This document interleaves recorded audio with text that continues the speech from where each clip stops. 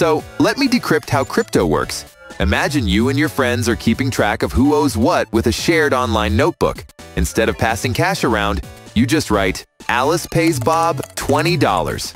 Using Bitcoin is pretty much the same. It's not literal cash, but more like a promise that someone owes you something, and vice versa. Bitcoin being a digital promise might sound unserious, but this promise is one of the most private and secure ways to send and receive money smoothly.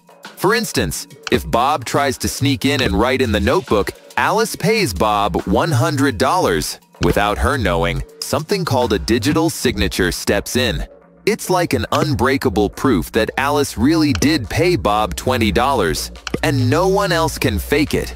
Plus, each transaction gets a unique ID, so every transaction is one of a kind and can't be repeated, just like Tappy.